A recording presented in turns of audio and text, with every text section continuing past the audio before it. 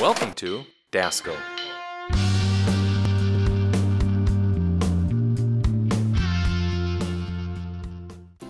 In this video we're going to go over how to best install the shrink sleeve in a cab Squix M shrink sleeve system.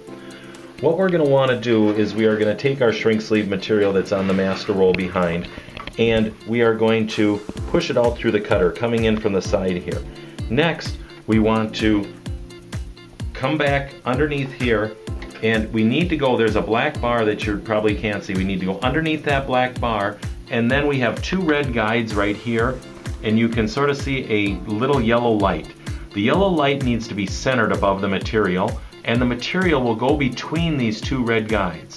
When the material is there, we tighten this down so it is snug against the material, allow it to come out, and now we can lock this down in place. With the cutter installed on the screen, you will see a cutting option. We can hit our cut, and it is going to cut the material. Thanks for watching. If you don't see what you need here, give us a call at Dasco. We're here to provide solutions that meet your needs. 800 927 7701 or contact us at dasco.com.